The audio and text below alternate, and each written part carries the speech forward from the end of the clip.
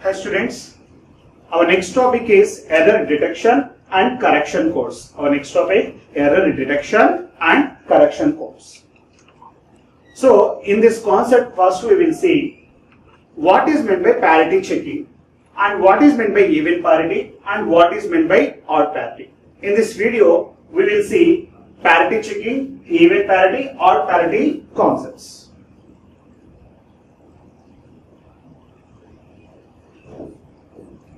These three concepts we will see. In the next video, we will see the Hamming code concept. So, first we will see the data transmission system. So, before going to the parity bits behavior and our error detection and error correction, first we will see the data transmission system. So, error detection or error correction. Where we will get error detection?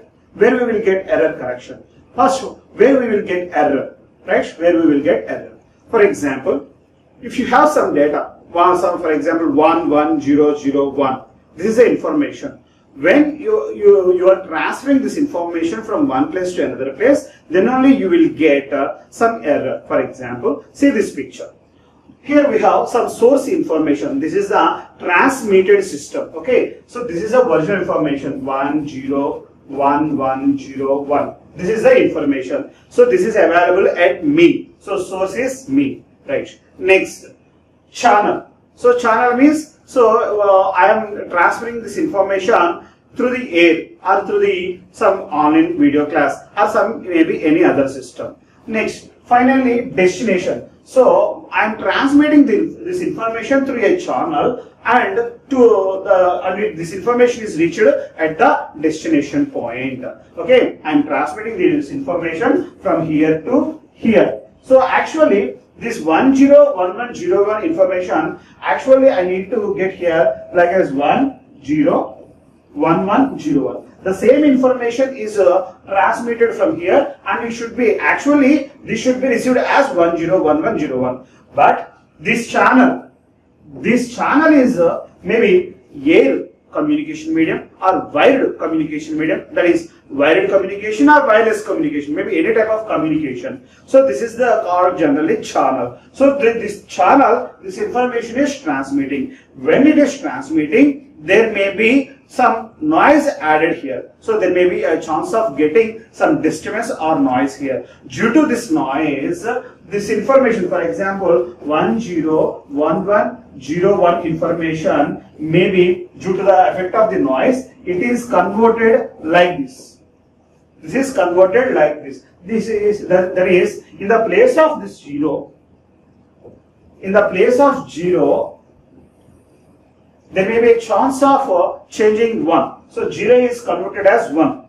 Right? So some error is there. So this error information now is available at this destination. Okay? This is error information is available at this destination.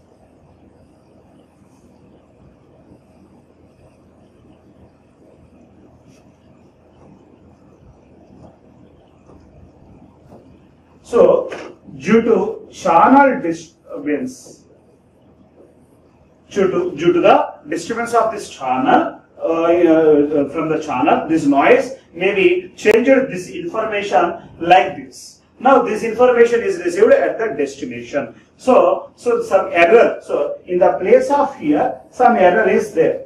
Now I am saying that this is the source uh, information, that is the destination information. But in the real time, at the destination side, one person will be available. In the source side, another person will be available. Okay, they are not communicating. When he is transferred that information, that will be transmitted as wrong information. Now, you have to identify the error, where the error is available, where the error is available. So, so finding the error is nothing as error detection. If any methodology explaining the process of error detection, that is called error detection system.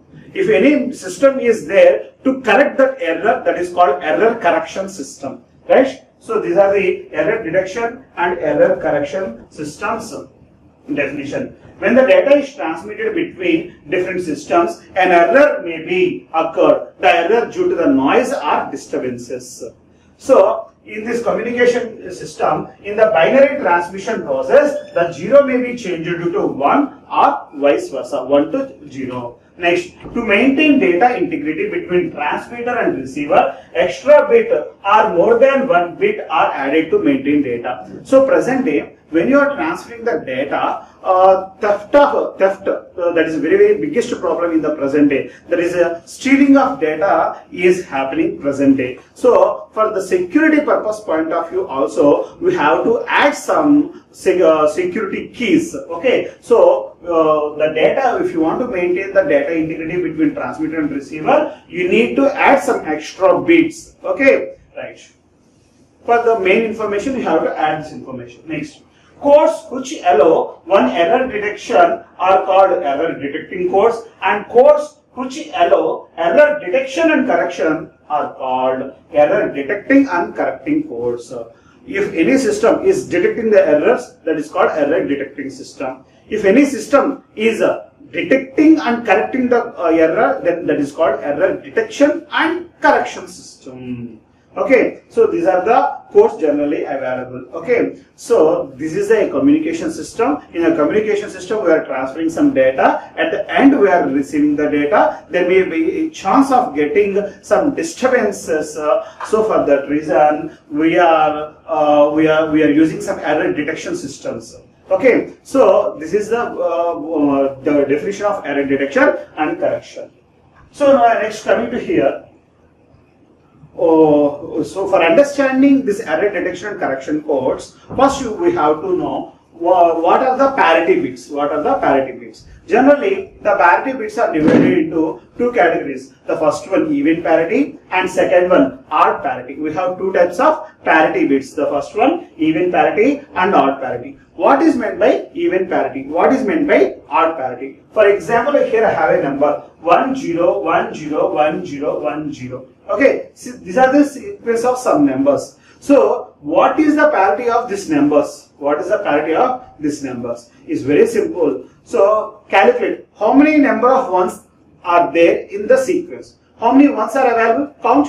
1, 2, 3, 4. Here we have totally 4 numbers. That means you have to add these all of the numbers Okay, how many numbers are there? So, so count that numbers, give the value. Here, four numbers are there. Four numbers are there. So, that is nothing but even output you got. So, it is satisfying the even parity value. It is satisfying the even parity. So, this is this code is following even parity. Otherwise, you do one thing. 1 plus 0. What is the answer? 1. So, after adding these two, add these two. 1 plus 0, the value is 1. So now add these two values, 1 plus 1, 0. Next, add these two values, 0 plus 0, 0. Add these two values, 0 plus 1, 1. Now add these two values, 1 plus 0, uh, the value is 1. Now add these two values, 1 plus 1, 0. Next, 0 plus 0, 0. Now the final answer is, the final value is 0. So this 0, if you, uh, if you are adding any sequence, if you get 0, that is called even parity. If you get the value as 1, that is called odd parity. So see here, whatever the sequence given, uh, you take the sequence and sum all the bits. If you get if you get 0, that is called even, that is satisfying even parity. If you will get 1, that is uh, satisfying odd parity. Okay, right.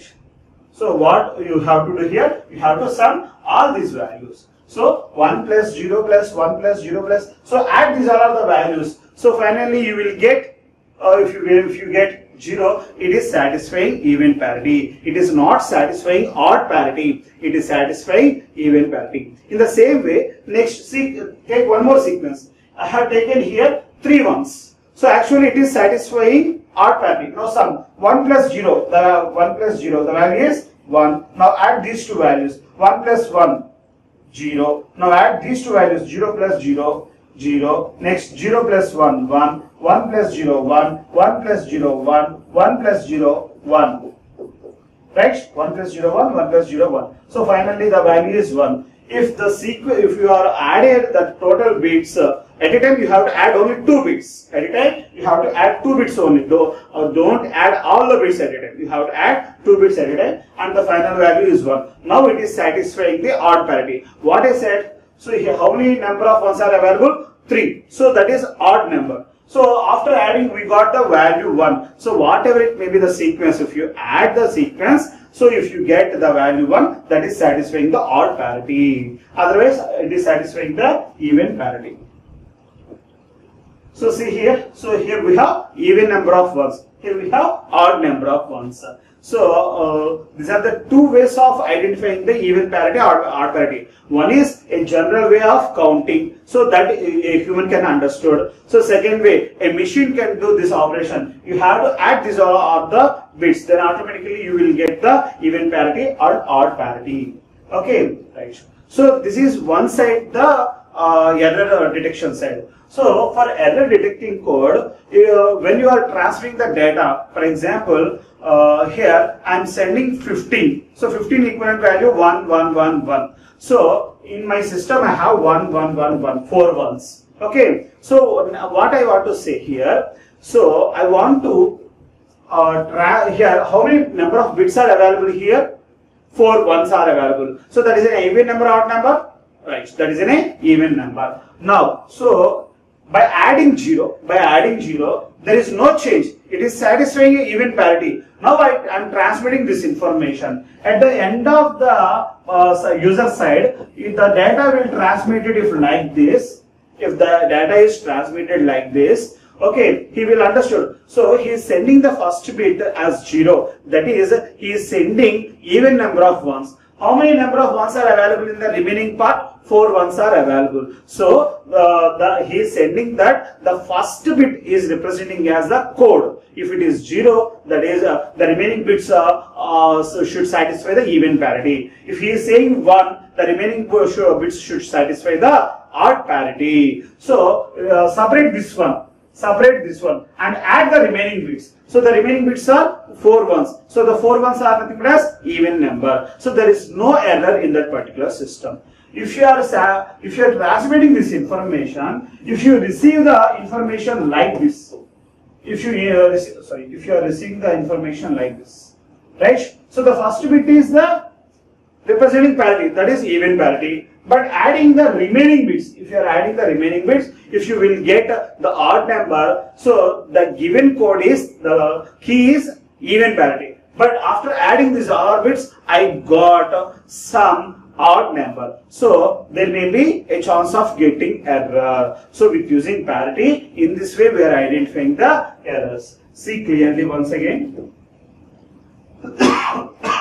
To detect errors in the data communication and processing, an eighth bit sometimes added to ASCII character to indicate its parity. Generally, ASCII code we are representing with 7 bits. Okay, so I am adding eighth bit as an MSB. For example,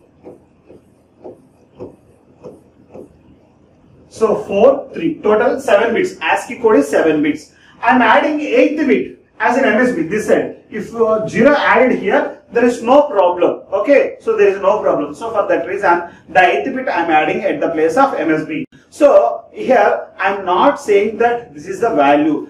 This is I am using for coding purpose. This is uh, either representing even parity or odd parity. It may be representing even parity or parity. If it is representing 0 or 1, right? 0 or 1. See here for example. Here how many number of ones are there in the remaining bits? Uh, 1, 2, 3, 4. Total 4 numbers are available. Now I will represent 0. That is, uh, I am transmitting even number of ones. Okay. For example, if you have number like this. Okay. These are the 7 bits. Now, I am adding here 1, uh, 1 here. I am adding here 1. Now, how many number of bits are available? 8 bits and I am sending the first bit as 1. If I am sending the first bit as 1, that is the, it satisfies the odd parity. Uh, the remaining bits, how many number of ones are available here? That is the odd number of ones are available in the remaining part. So now I am transmitting the uh, 7 bits of ASCII code with a parity bit. So this bit is called parity. If it is zero, that is even. Uh, if it is uh, uh, zero or one, we cannot decide that is even parity or parity. That is depends upon the remaining bits. If remaining bits are even, you have to represent zero. If the remaining bits are odd, you have to represent one. Like in this way, you have to transmit the information.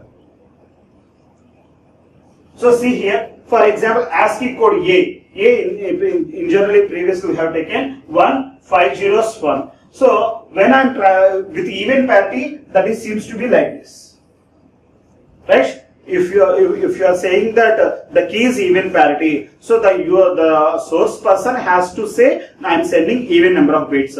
If you are sending uh, zero, that is even number of bits. Here one is there for uh, the remaining one that is odd parity. It is satisfying odd parity. It is satisfying even parity. So next take the t value. So in this t we have three ones. So with even parity you are representing 1 1 0 1 0 1 0 0. So that is even parity. With odd parity 0 1 0 1 0 1 uh, double zero. So when you are transmitting this data, so if you found even number of ones, that is satisfying even parity. If the number of ones are odd, that is satisfying the odd parity. Okay, so we will discuss this even parity and odd parity in detail in the Hamming code operations. Okay, so the first bit indicates the even parity and odd parity. Some of the ASCII table information I have given here. The, take the capital A and T values, whatever the uh, information we represented in the uh, previous slide, that is here. So the, A value and T value you can get from from this table. So this is the table. You can get the A value, T value from this table. Right. In the next class, we will see the Hamming code operation. Uh, when in the in communication system, when you are transmitting the data, you have to code with Hamming information. The scientist Hamming, he proposed this, this theory. So for that reason, based on his name, we are calling this is called Hamming code theory. So this Hamming code theory will detect a single bit error and it will correct the single bit information. In the transmit data, if you have only single bit error, you are using Hamming code. If you have more than two uh, one data, that is if you have two bit error or three bit error, we are using another type of systems. So in our second year STLD subject, we have only single bit error detection and correction by using Hamming code. This Hamming code we will see in the next video. Thank you.